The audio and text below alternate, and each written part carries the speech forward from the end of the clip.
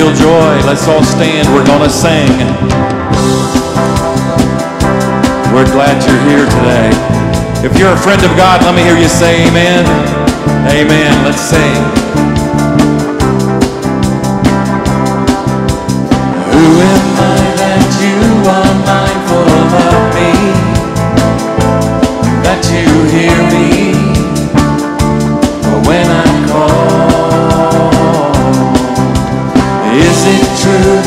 You are thinking of me? How you love me? It's amazing. Who am I that you are mindful of me? That you hear me when I call? Is it true that you are thinking of me how you love me? It's amazing. I am a friend of God. I am a friend of God. I am a friend of God. He calls me friend. I am a friend of God. I am a friend of calls me friend. Who am I that you are mindful of me? That you hear me? Aren't you glad when I call? Is it true that you are thinking of me and how you love me? It's amazing.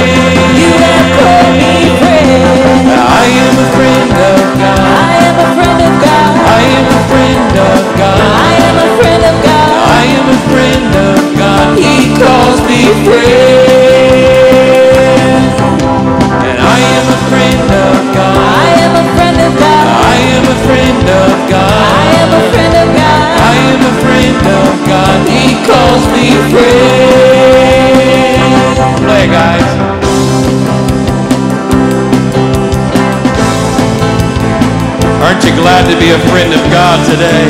Amen. If God's for us, He's more than all that can be against us. Sing the chorus. And I am a friend of God. I am a friend of God. I am a friend of God. I am a friend of God. I am a friend of God. He calls me friend. I am a friend of God. I am a friend of God. I am a friend of God. I am a friend of God. He calls me friend. Amen. We're glad you're here today. Your time of fellowship. Turn around and wave at somebody. Shake hands. Tell them you love them. Welcome Facebook Live. Worship Jesus with us. We're so glad you're here. If you're visiting, make yourself at home. We love Jesus, and we are a friend of God. Sing the chorus, all. And I am a friend of God. I am a friend of God. I am a friend of God. I am a friend of God. And I am a friend of God. He calls me friend. And I am a friend of God. I am a friend of God. And I am a friend of God. I am a friend of God. I am a friend of God. He calls me friend.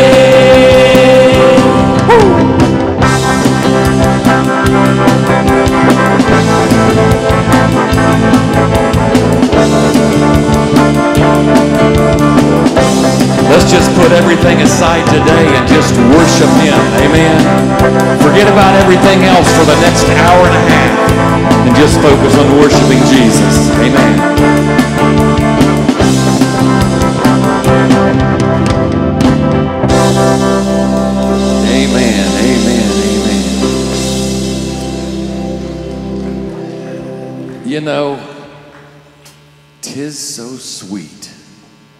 Trust in Jesus. We got to trust Him. It's easy to talk about that, but sometimes not so easy to do that.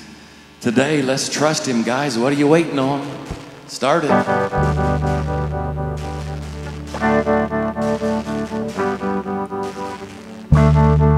Come on. We got honey in the rock. Sometimes you got to search and kind of dig into the crevice to find it.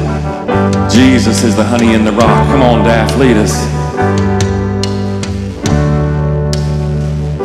There's honey in the rock, water in the stone, manna on the ground, no matter where I go.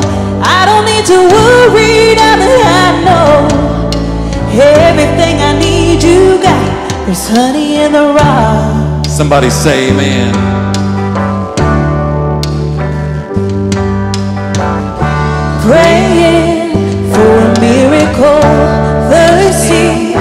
The living well.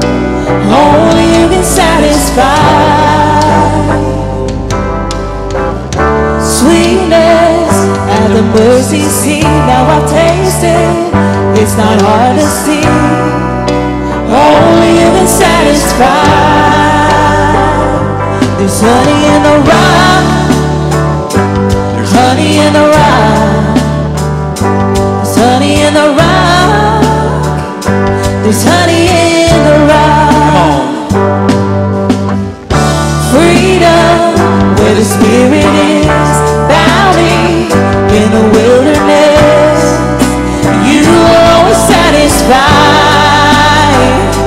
There's honey in the rock, water in the stone, manna on the ground, no matter where I go.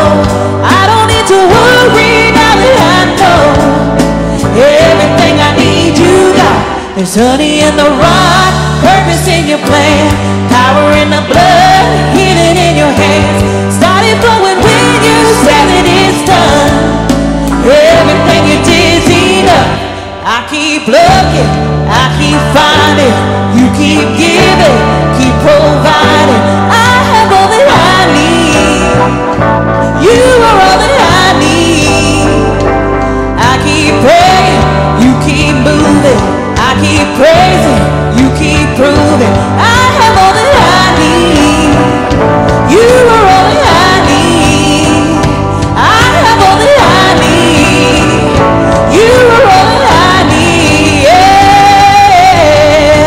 There's honey in the rock, water in the stone, manna on the ground, no matter where I go. I don't need to worry now that I know everything I need you got. There's honey in the rock, purpose in your plan, power in the blood, healing in your hands. Started flowing when you said that it's done. Jesus, who you are is enough. There's honey in the rock.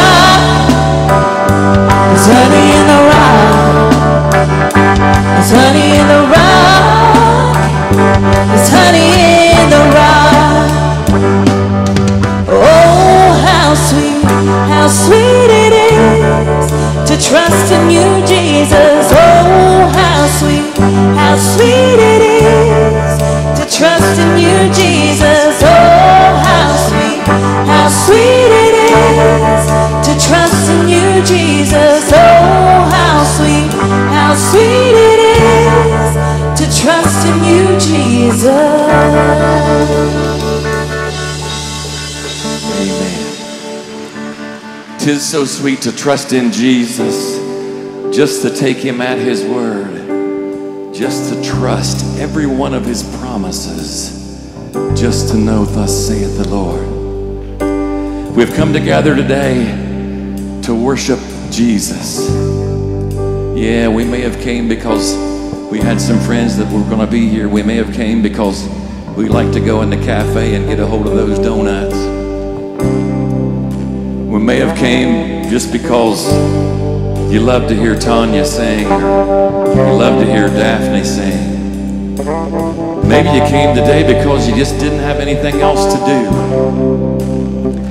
But listen, you're not here by accident. You're here by divine appointment. Let God work into your heart today and work into your mind today. Let Him become the very air that you breathe. He is worthy, church. He is worthy. Every blessing that we have, He is worthy. Today's Father's Day. Bless you, fathers, all over the congregation.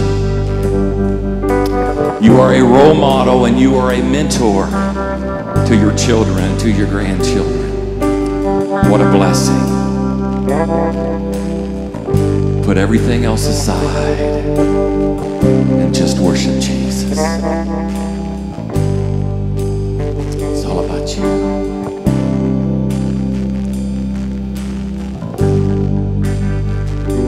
is the air I breathe. This is the air I breathe. Your holy presence living in me. This is it. This is my daily bread. This is my daily bread. Your very word, listen, spoken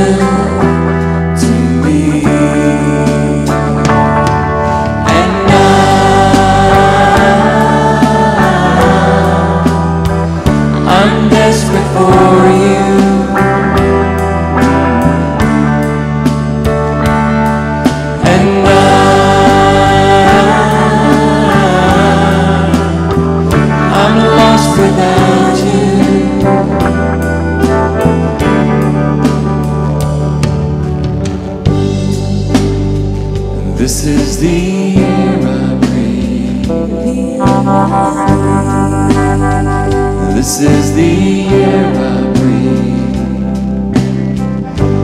Your holy presence, He's here now.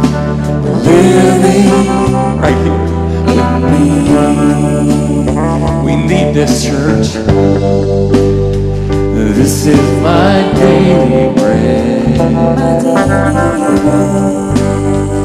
This is my daily bread. Your very word, speak Jesus, spoken to me. And I, I'm desperate for you. I need you, Jesus.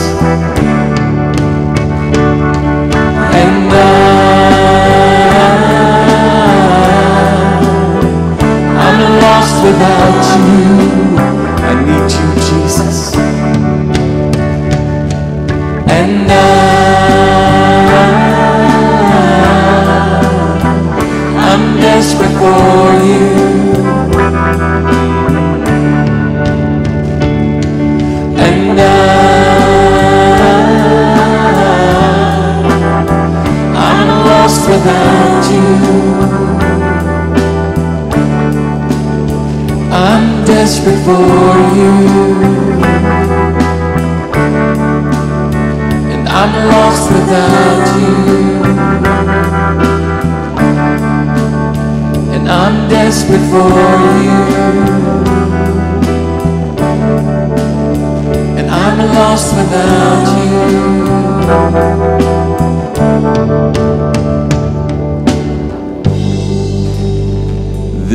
The air I breathe.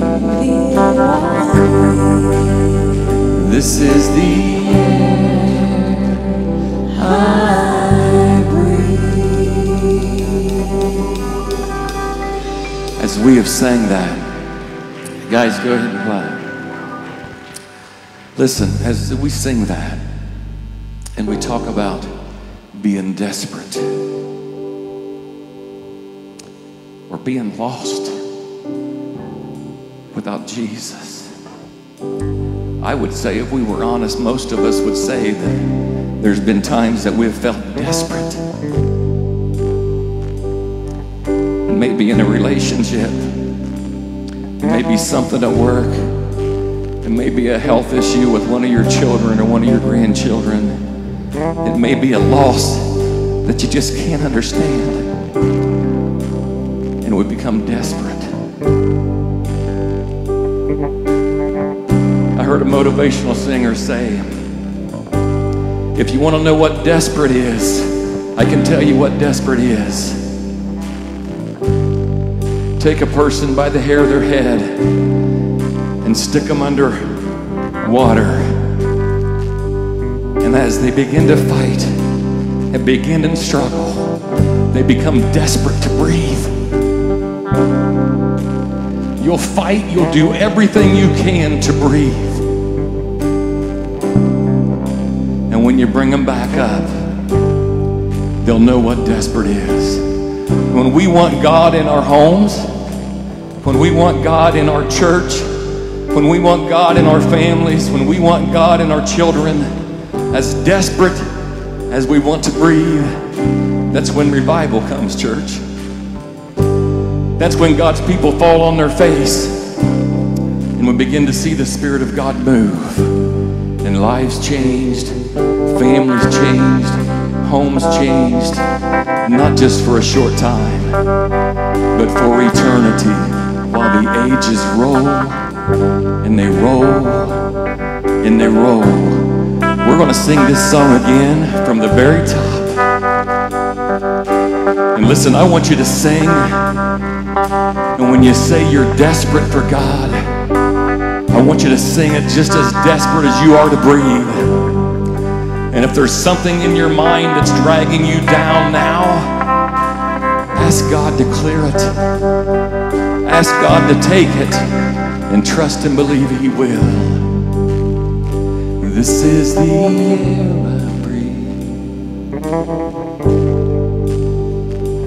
is the air I breathe.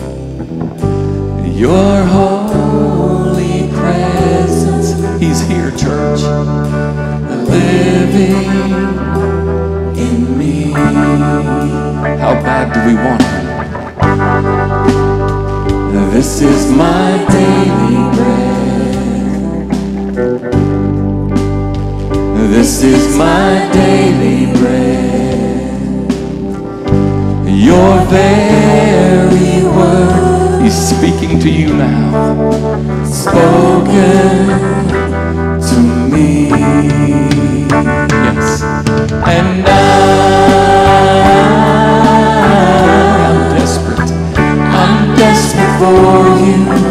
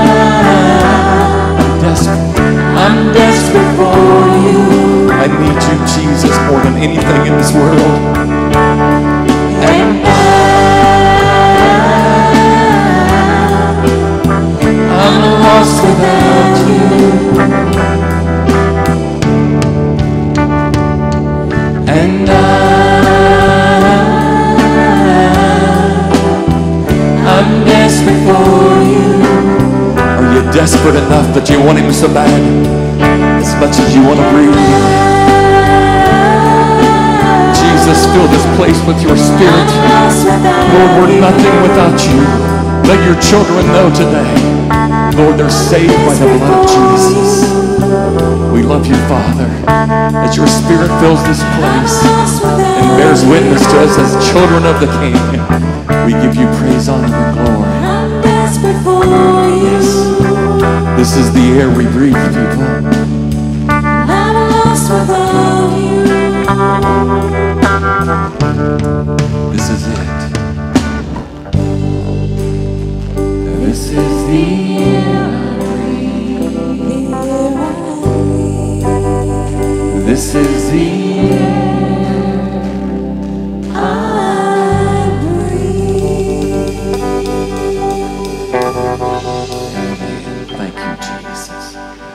Good job. Praise Him with your hands. That's. You can be seated. Good job, good job, good job.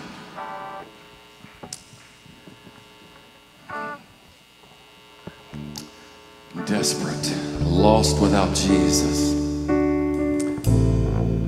I was, uh, I was kind of teasing the praise team this morning. I had a birthday this week and I turned 63 years old. And a lot of you guys are saying, wow, he don't look that old. I, I know that's what you was thinking.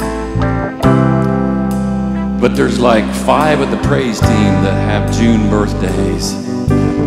And so 63 years of experience, God has blessed me in my life, and I have fell short and I have failed him. And I am lost without him. If you don't know Jesus today, please, please don't leave here today without settling it, without accepting Jesus into your heart as your personal Savior. He will change your life. Everything won't become a bed of roses, but there's an eternity out there that He's going to lead you to. If we can have some ushers come forward, we'll continue to worship through our giving. If you're visiting today, we're glad you're here. If you got a visitor's card, you can just drop it into the offering plate at the end of the service. Brother Marty Kokenauer, the kind of heads up our greeters, will be over here. We want to talk to you. We want to get to know you. We want you to be part of our family. We are God's soldiers marching on, marching on, marching on. Let's pray, Father, we love you. Oh, Father, it's good to be in your house, singing to you, praising you, praying to you, because you are the only true God, and you are the only way to heaven. And Lord, as we continue to worship in our giving with our tithes and our offerings and our Operation Joy, Lord, we're lost without you. Continue to take it, continue to use it, continue to multiply it for the upbuilding of your kingdom, Jesus. We love you. We give you praise, honor, and glory for all things. In Jesus' name we pray. Amen. Amen. Amen.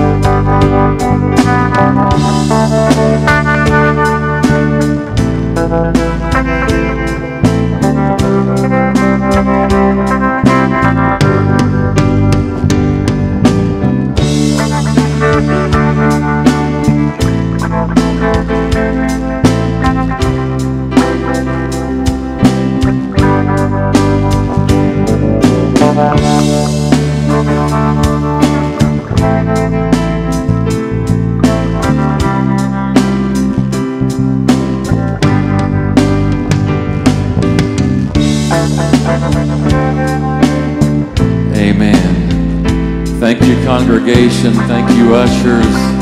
Thank you, praise team. Great job. Children, kindergarten through fourth grade, you can be dismissed to the joy zone. You're going to have some awesome fun back there. You're going to be singing about Jesus. You're going to be making crafts. If you're really good, you're probably going to get a snack. I said something about a snack, and there was four or five of you adults started to go.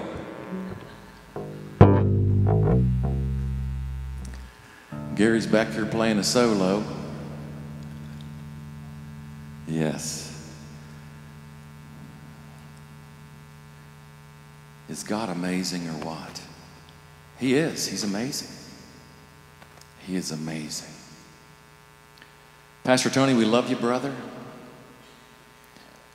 Come and share. If you appreciate Pastor Tony, say amen. Amen. Come on, brother.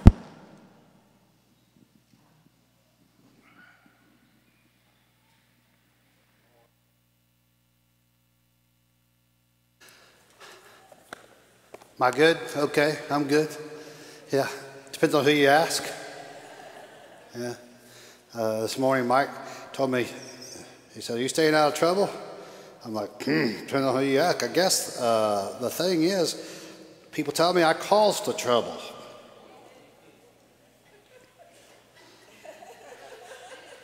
I said, I represent that. So, hey, uh, good morning. Happy Father's Day. Today is Father's Day. We're glad you're here. I need to break just for a moment and recognize our fathers. And uh, I'm thrilled to death to see you, fathers, and, and everyone here. I'll talk about those individuals here in a moment. But uh, I do have some awards, you know, like we gave away to the women this year. We're going to give some stuff to the men as well. And um, so I have this uh, handy dandy. Uh,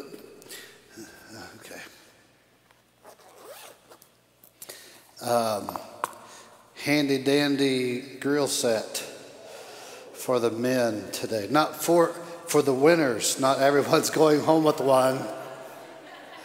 I'm sorry to say it that way. Some of you might buy it from someone, you know.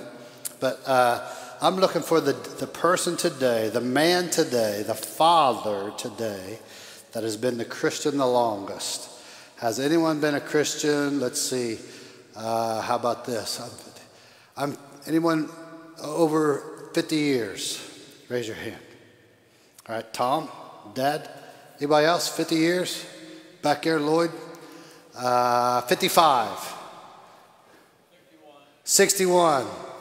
Can anyone beat 61? Mike, how, how long you been Christian? 63? Dad, how long you been a Christian? He went to South Point. What's that? Yeah.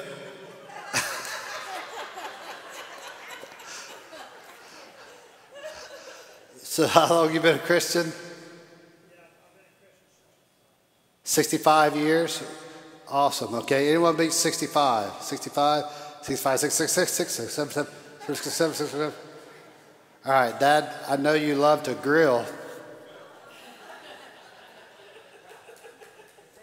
But here you go. Congratulations, Dad. Congratulations. All right, the father's been a Christian the shortest amount of time. Shortest amount of time. Anyone been a Christian less than a year? A father, less than a year. Anyone at all? Frank? Anyone beat a year under a year? All right, Tammy, come get this for Frank. All right, all right, let's give this to Frank.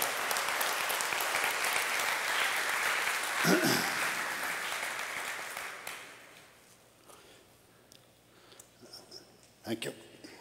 All right. Father who has the most children present. The most children present. Anyone have 10 kids here? If, if, if, they, if they got 10, you need to be praying for them. How about uh, five? Anyone got five children present? Be fruitful and multiply. It says that really easy in Genesis, okay? Four. All right. How many you got? Four? How many you got? Four? Just two are yours? Are they, are they in your family though? They're what?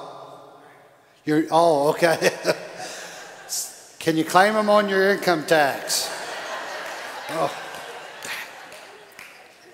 Daggone it. All right. I was trying to help you out, brother. I was trying to help you. Especially come tax season.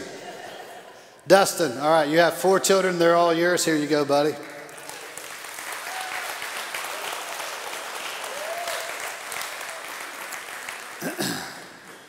all right. Thank you. Thank you. All right. I think that's it. These were, these were just in case there was a tie. Whew. I learned my lesson on the women, the women's time, and I was like, oh, we, we were dividing down the months and days. All right, well, today's being Father's Day. I, I want to acknowledge all the fathers. If you're a father, would you please stand? And I, remain standing until I ask you to sit down. Okay? Yes. All right. Now, I, am not done yet. I'm not done yet. Stay standing, stay standing. If you're a man, 18 and above, stand. 18 and above. That means you don't have any children, but you're, you're 18 and above. Would you stand up as well? Awesome, awesome, awesome. All right. Now, now hold, hold on just a second. I want you to turn around and look around the room. All right, look at all these men standing. Church, count yourself blessed because a lot of churches don't have any men in them at all. The men have left the church. In fact, that's a great book. It's called Where Have All the Men Gone? And it's talking about why are the men leaving the church because they forget about being manly things. Men like to do manly things. And so I am grateful, I'm blessed, and church, we are blessed that these men 18 and over are here today. So let's give them all another round of applause, please. You guys can sit down. Men have not only left the church, but they're also missing in the families. Uh, some may be living in homes, but they're still, the husband might be there, the father might be there, but they're actually still missing because they're either working all the time or they're on that electronic device that many of you are holding in your hands even now. You know, uh, Tricia and I, we go to uh, a restaurant in Kingston every Friday because you don't get service. And I make her talk to me. Because there's no internet service, there's no cell service, and it's all blocked in. And so we have to look at each other and go,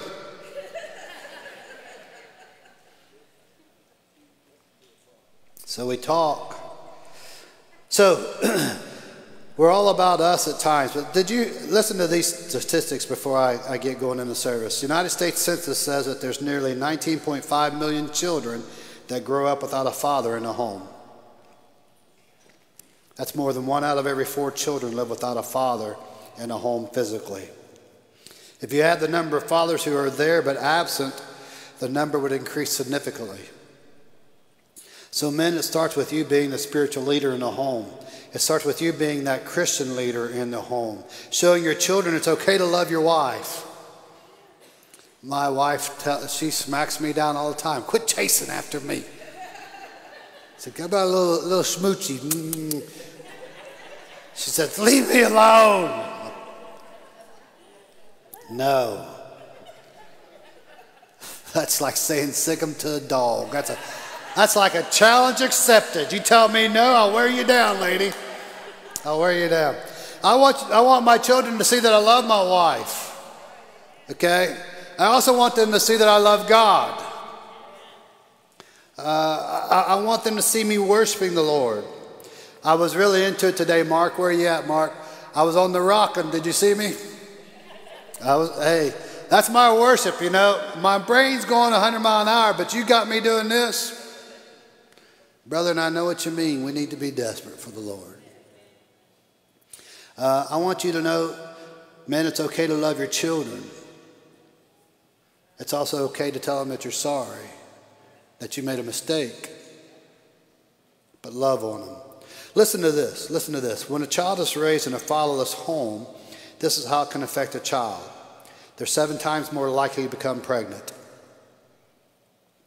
They're more likely to have behavioral problems, more likely to abuse drugs and alcohol, more likely to go to prison, more likely to commit a crime, and two times more likely to suffer from obesity, and two times more likely to drop out of school. Now, granted, trust me, I know homes just life in general can be crazy. And society wants to tell men to act like a woman. Men, it's time to be men. There's nothing wrong with being Tim the Tool Man Taylor. All right, there's nothing wrong with that.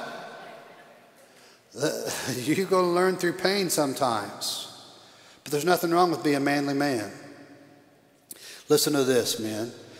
That's talking about the social side of things, but when it comes to the spiritual side of things, if a child will get saved first, only 3.5% of families will get saved to follow. That means if a child comes to school, maybe someone brings them to school, brings them to church, they get saved during the, the church. They bring the neighbor kid and they go to VBS and they get saved.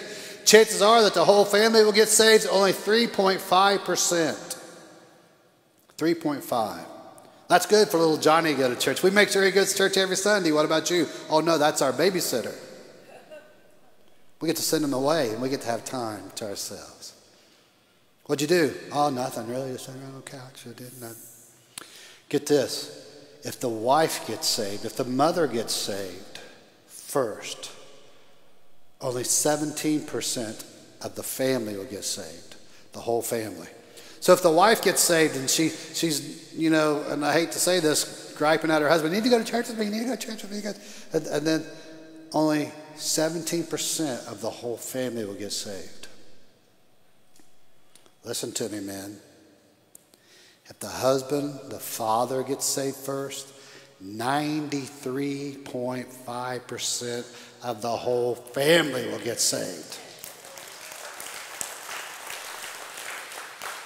Men, don't let society tell you that you're not important in that home or in that child's life. Don't let the, the, the world tell you that you do not, um, uh, it doesn't matter what's happening in your life spiritually. You, God designed it for you to be the spiritual leader in the family. So, men, if you are the spiritual leader, your family will follow. Stand up, be that spiritual leader. You know why churches have women and stuff having to fill all these different roles? It's because the men have left the church and they don't want to be the spiritual leader. So the lady says, Someone has to do it. We will do it. Men, stand up. God has set it up for you to be a spiritual leader in the family. Do it. Challenge. Do you accept? That really has nothing to do with the sermon today. Didn't cost anything extra. But I'm just telling you, God wants you to be the spiritual leader. And if your family's in disarray right now, if your family's in disarray right now, if there's if you're divorced, you're living in separate homes, be active, take a part in that child's life. They're still watching you. Okay? Now, let's take our Bibles, turn to Revelation. We're on week 42 of Revelation study. And so, oh, you got it. Oh, you guys are missing it. Yeah. All right, Pastor, raise that sword, right? Man cannot live by bread alone. Every word that proceeds out of the mouth of God. So you guys got to you got you got to uh, remind me You know, I tell everybody all the time, I said, You think it's bad out here from what comes out? You got to be in here. It's really bad. Revelation 22. We're going to go back to verse 4. We started on it last week. I touched on it a little bit last week, but there wasn't enough time in last week's sermon.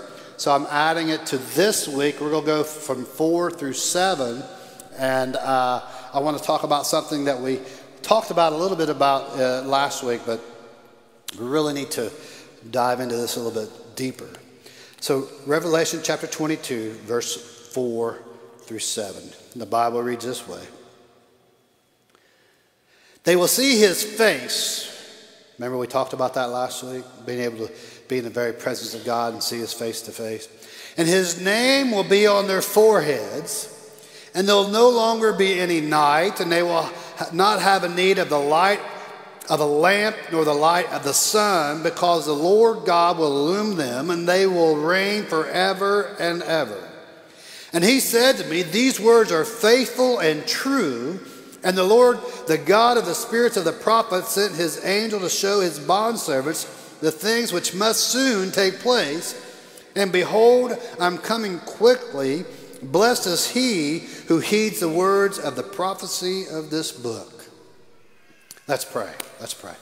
Father God, I come to you right now to thank so much for the power of prayer. Father, I thank you for all the men in this room, for the from the young teens all the way up through to the oldest one, Father. I'm so thankful that men are represented here. And Father, not only are they represented, but they're serving, they're involved being as spiritual leaders, not only in the family, but also in the church. And I thank you for them.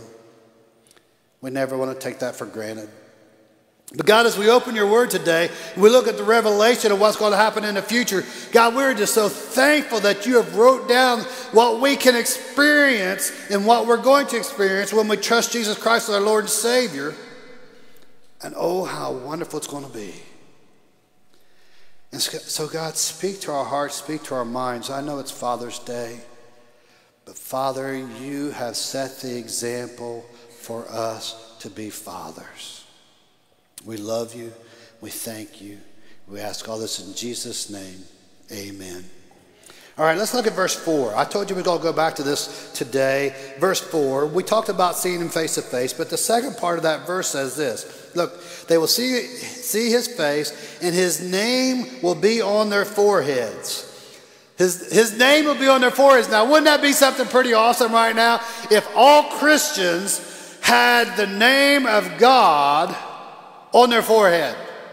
I mean, seriously, we'd be able to know who was a Christian and who wasn't. We know who we know who the sheep were and who were the, the wolves in sheep's clothing. Because I'm gonna be honest with you, there's a lot of there's a lot of pretenders. You know, hey, I'm a Christian right now. When I when I'm with these people, I'm a Christian. When I'm with these people, I'm not so much. you know, I tell people, you, you speak two languages? And I'm not talking French and Spanish. I'm talking about I got one kind of language I use around Christian friends and one kind of language I use when I'm not around Christian friends.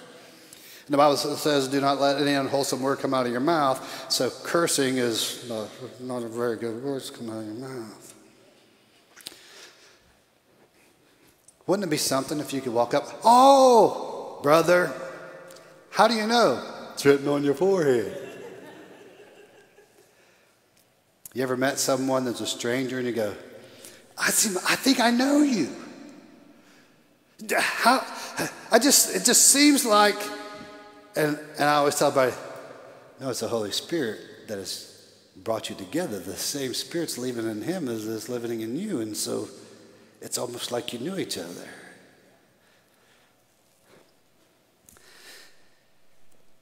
What if I told you that there are actually signs of those who are actually sealed, who are have uh, in Christ right now? What if I told you that the Bible tells us that as Christians we're already sealed? We have we have that signature already. Take your Bibles and turn to Ephesians chapter one. Ephesians chapter one. Go to Ephesians chapter one.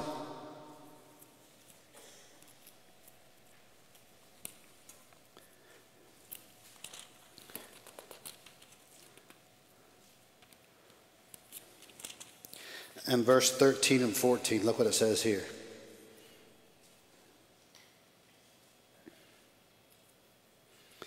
In him, you also, after listening to the message of truth, the gospel of your salvation, having also believed, you were sealed in him with the Holy Spirit of promise. So before we go on to the next part, if you have heard the truth, Jesus said, I am the way, the truth. If you've heard the gospel presentation and you've trusted Jesus Christ as your Lord and Savior, then you are who he's talking about here, and you have been sealed with the Holy Spirit. Right? You have been, I, I can't make this up. Look, it says you are healed with the Holy Spirit. You were sealed in Him with the Holy Spirit of promise. It's a promise. Verse 14 who has given us a pledge of our inheritance with the view of the redemption of God's own possession to praise of his glory.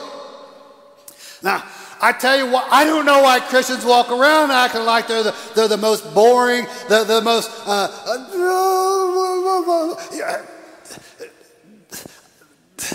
Christians, you ought to be smiling ear to ear. I don't know what you're going through, but I'm going to tell you, it's going to be a whole lot better especially for those who don't know Jesus, who's not sealed, who has, doesn't have that promise of, of, God saying, hey, look, I'm going to do exactly what I'm going to do. Okay, go to verse, go, go to chapter 4. Go to chapter 4. Chapter 4, verses 24 through 32. 24. Turn a, a few pages. Look, look what it says right here.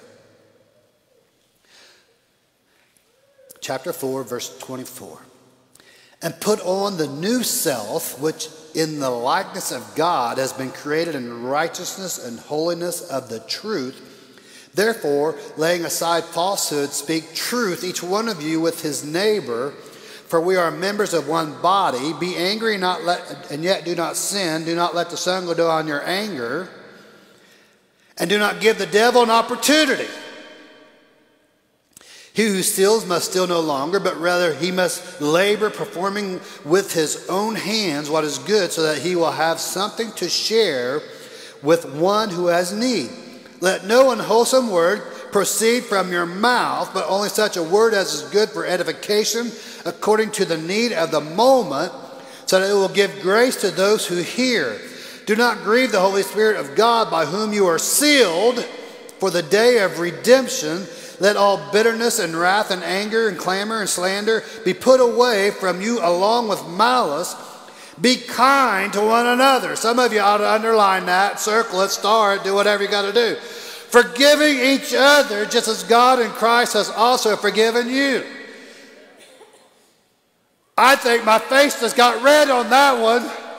That's a lot of stuff. Hey, when you trust Jesus Christ as your Lord and Savior, and I remember I told you there's some people who are pretenders. I, I'm the great pretender. Listen to me. You should not be the same person when you come to know Jesus Christ. Okay? Your life should be changing. It's not automatically, it is a working out your salvation to show your neighbor, hey, I'm not the person I used to be. I'm saved. My old life is gone. I'm not that person. I'm trying not to be them. But hey, listen, I am changing. I'm trying to look more like Christ when I look in the mirror. That's the way we ought to do it because you're sealed with the Holy Spirit. And you know that little voice, you go, you tell, you tell that little lie at work, I can't, I'm feeling good today. I'm called in. Let's go fishing. Okay. Uh, uh, uh. And then you go, oh, I know I'm going to be posting something on Facebook of me fishing. I'm going to get fired. I shouldn't have been doing that. You know, the Holy Spirit speaks to you.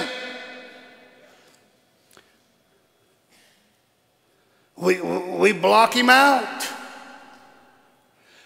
Your language. You know, when you're at work and you swing that hammer down and you hit the wrong nail, and you say, Praise the Lord. That's not really what you say, is it?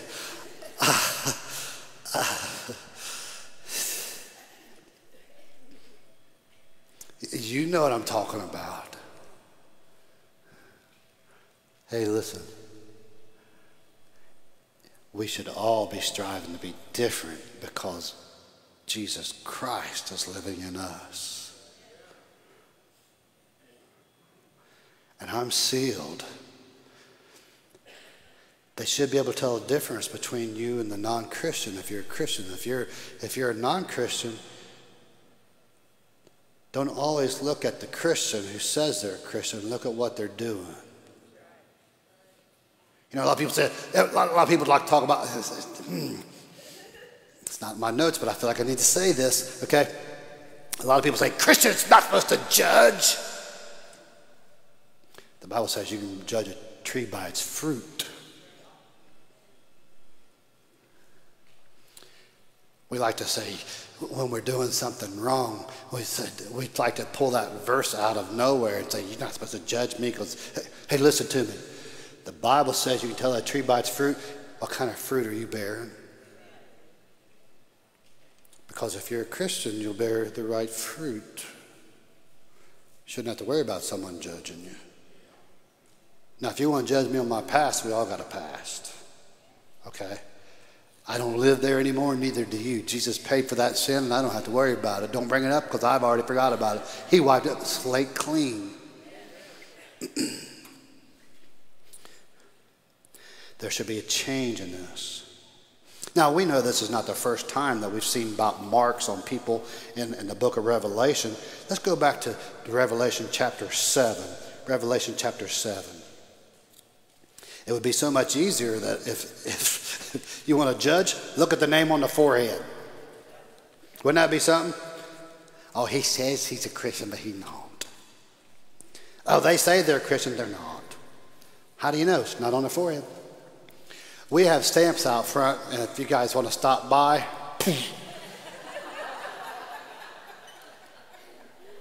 we do have several tattoo artists in the church. I don't recommend that on the forehead, okay? I just, no. Wouldn't that be something?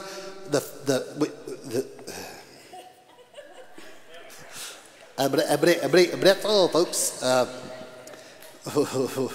we put that fish emblem on our car, and then we honk at people and tell them they're number one when they cut us off.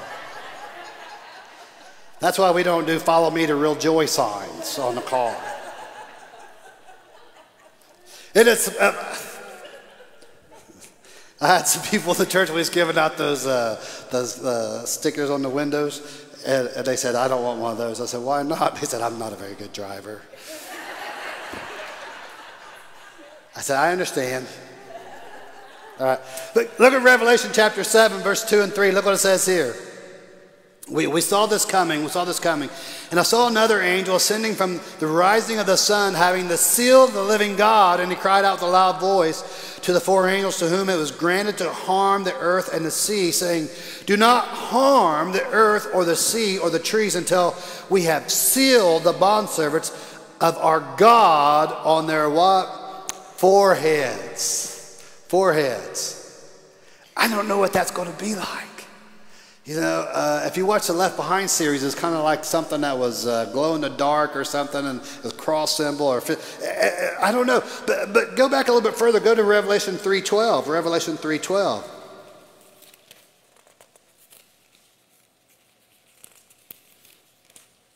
Look what it says here.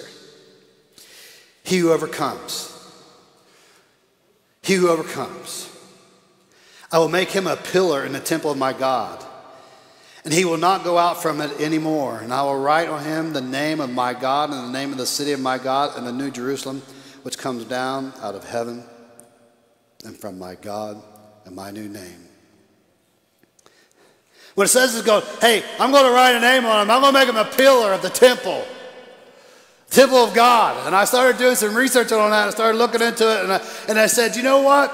back in during this time, because we have to sometimes go back to when the writing was happening, there were different temples all over the place for different gods. In fact, if you read about Solomon, God told Solomon, He said, Don't bring them foreign wives into my temple. They're not allowed to come in there and worship. And Solomon goes, Okay, I'll build him a temple right beside yours. So they would say, this is, the, this is the God of this person, this is the God of this person, this, this is the God of this, this is the temple of this God, this God, and this. And, and did you see what he says? I'm, I will write my name on your forehead, and I'm going to make you a pillar in the family of God. in his temple. You know what? In that, he draws such a pretty picture there. Men, women, Christians, you are a pillar in the temple of God. You are actually holding up the family of God, the church of God. Right now, as a member of God's family, you're a pillar in that temple. How strong are you holding up? When I'm at the weakest, he's at the strongest.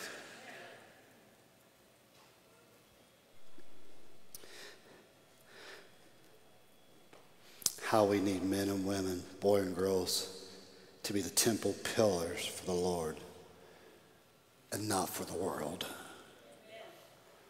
Oh, I, am all about this movement.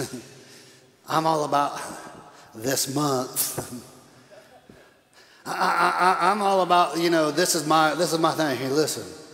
We need men and women, boys and girls, teenagers to stand up and be pillars for God. You know what? I'm tired of being told what I need to do and what I don't need to do. If it's not in God's word, hmm, you know what? You need to talk to somebody else. I'm sealed. The Holy Spirit's living in me. I'm shutting down on what they're telling me. I've been watching more Andy Griffith and Hogan's Heroes and uh, some of the other ones we've been watching, church?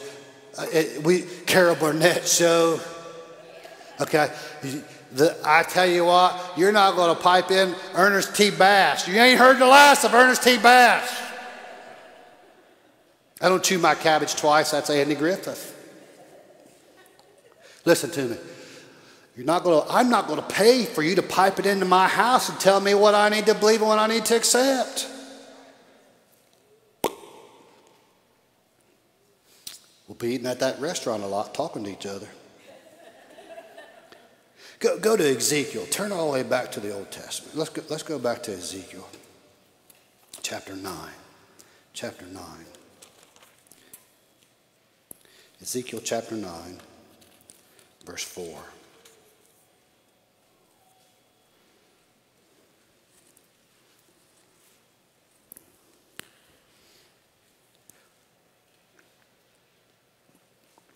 If you find Psalms, Proverbs, just keep turn, turning to the right. You'll find Isaiah, and then you'll find Jeremiah, Lamentations, and Ezekiel. Ezekiel chapter 9, verse 4.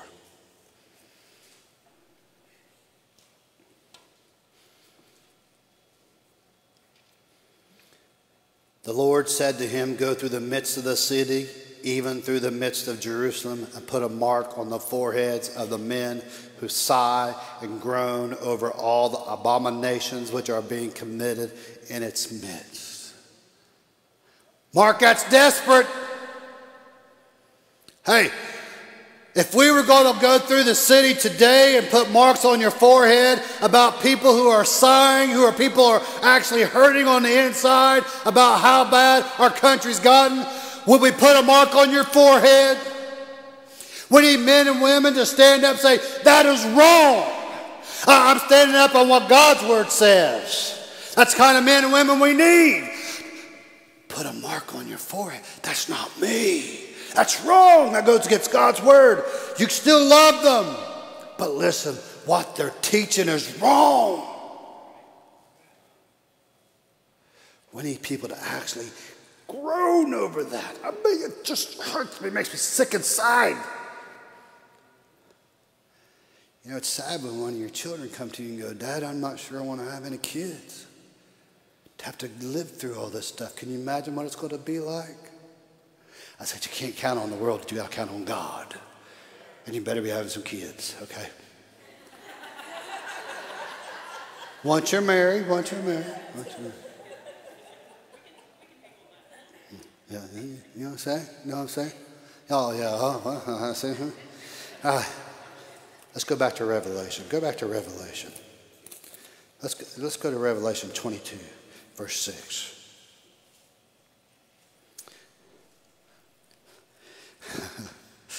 Mark, the, the, this morning I was sitting right out there and I was eating a cookie after I already had a donut, after I already had a, a bacon, egg, and cheese McGriddle, after I already had two cappuccinos, and I got bifocals, and literally Mark was standing right beside me. He goes, Tony. I said, Mark. I said, I'm sorry, but my mind was going really bad, and, and with bifocals, I'm a nose pointer, so if I'm not looking at you, okay, I don't see you. And he was like my, this blurry vision sight, and I'm like, ah, ah, ah, and he said that. And you know what? We need people to start looking through biblical glasses when we see what the world's passing out out there. So we can point our nose right to it. All right, I'm going to focus right here. I'm going to focus right here. Don't let it get blurred. Don't look through worldly glasses, look through biblical glasses. Okay? 22 6, 22 6. Look what it says here. And he said to me, These words are faithful and true. And the Lord, the God of the spirits of the prophets, sent his angel to show his bondservants the things which must soon take place. The writer was talking about the, the book of Revelation, but I want to tell you one thing.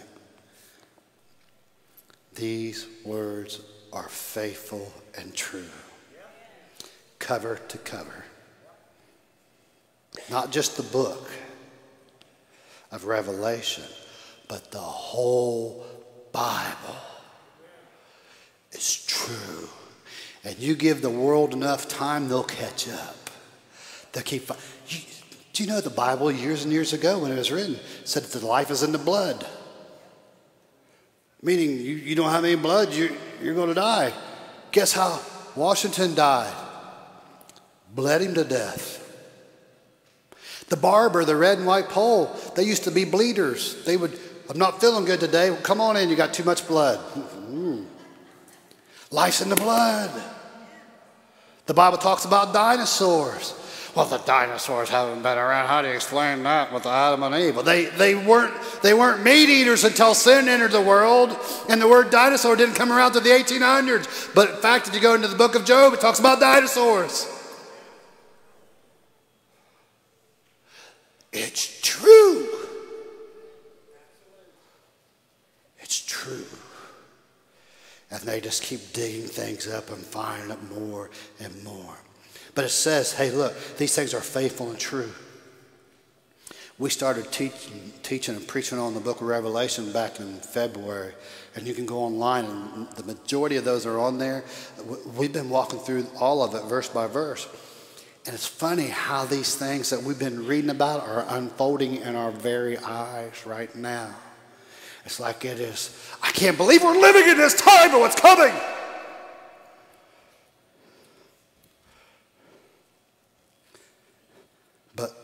Whenever I read these things and I, and I see, man, there's some bad stuff going to happen. When I, when I read about the horsemen coming and the, and the, the third of the, the, the dead, the animals and the sun and, and all that, the, and then the, the mark of the beast in order to buy, sell, and trade. And, and then I, I read about the waters turning blood and, and I read about all those bad things happening. Guess what? They're going to be true. You can count on it. But you know what? The good things are going to happen too.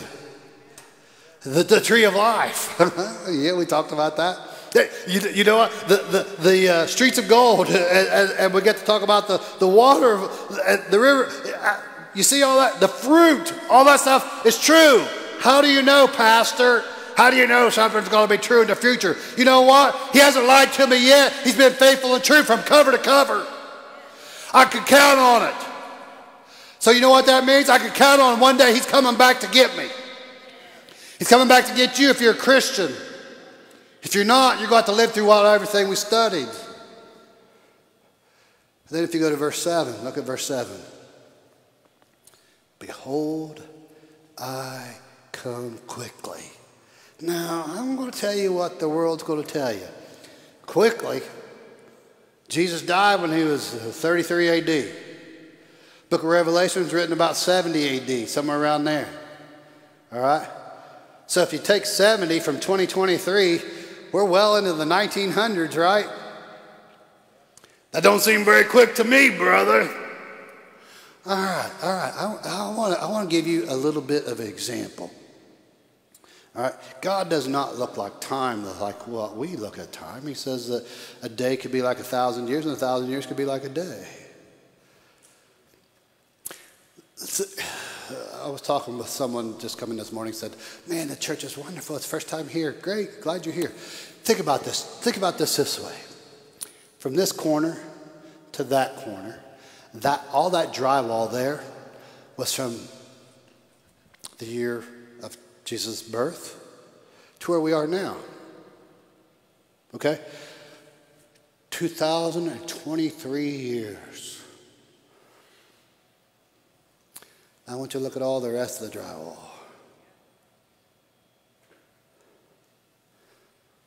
That's time. That's eternity. I come quickly. That's a short amount of time compared to all the rest of time.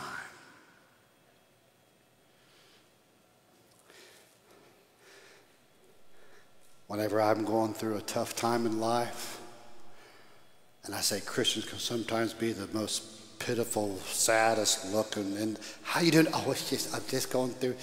It's just, you know what? Bad things happen to good people still. But you know what? I know that I have a Savior that loves me. More than anything. He loves me more than I love myself.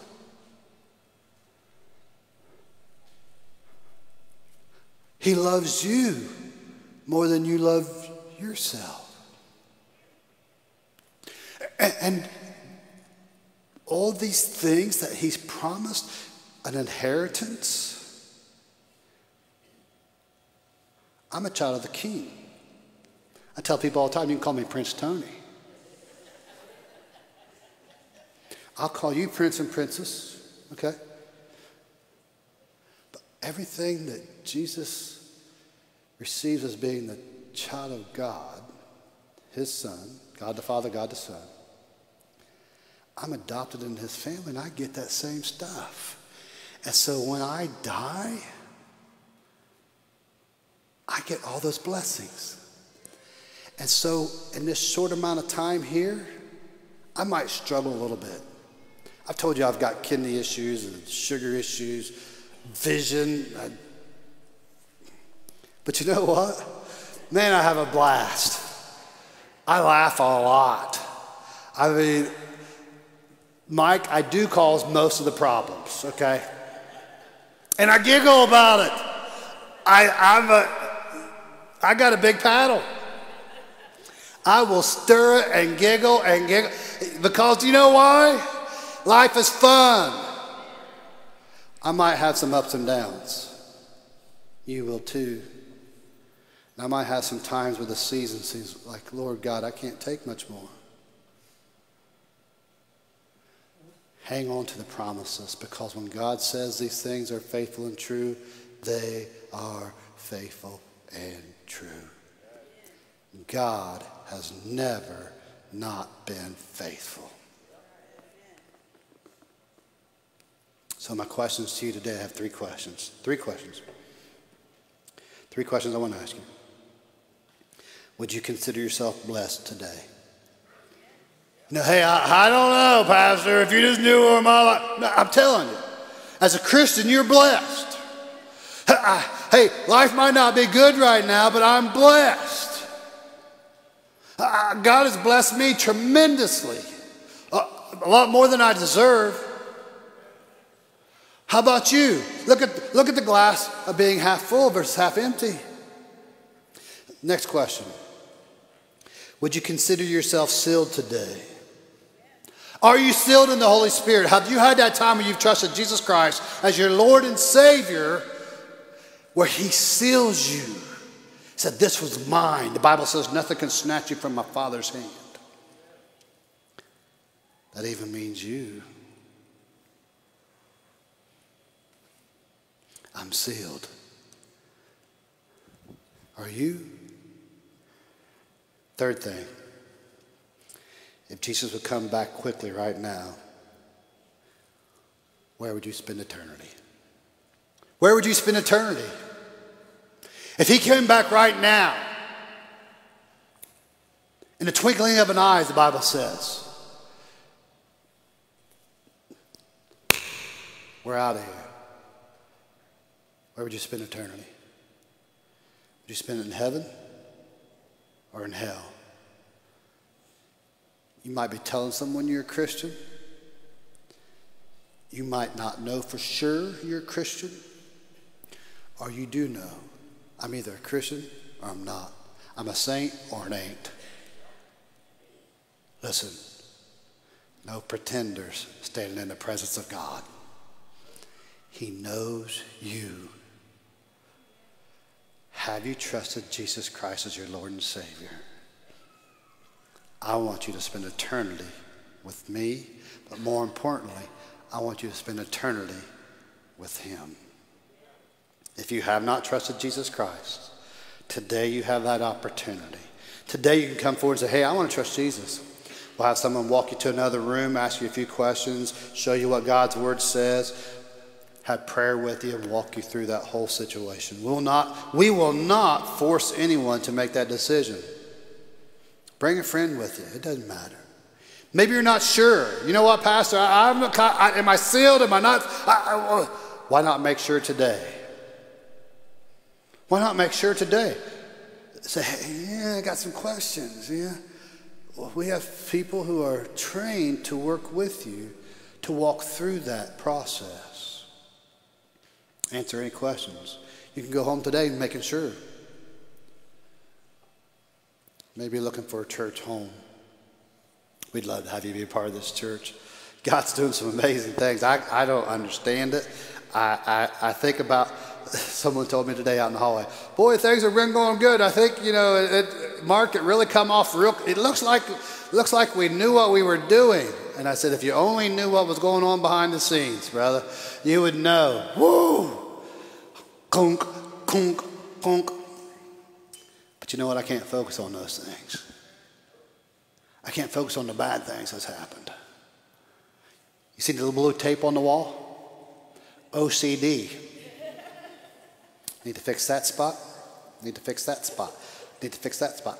Finally, I had to say, I just got to walk away. I'm going to use a whole roll of tape. But you know what? I can't focus on those things. I got to focus on the good things. And that's the way it should be in our lives. We'd love to have you be a part of our church, be a part. They're, they're doing some amazing things. It's, exci- it's exciting. God's, the Christian life is exciting, even the, the attacks. If you're not getting attacked, you're not living the way you should be because Satan is not happy. And so he's going to attack you. If you're not getting attacked, maybe you're not living the way you should be. If you want to be a part of this church, just come forward and say, Pastor, I want to join this church.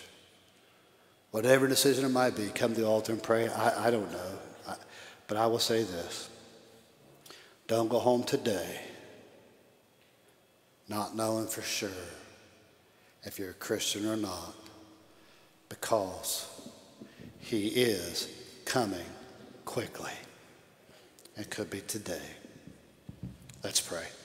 Father God, I come to you right now. Thanks so much for your word and how it speaks to us. And God, as we've, we've looked at your word today, oh, how it'd be so easy to see if someone was a Christian or not by the mark on their forehead. But God, we know your word says that you are sealed. You have sealed us with the Holy Spirit as a promise that if something happens to us, we'll spend eternity in heaven with you.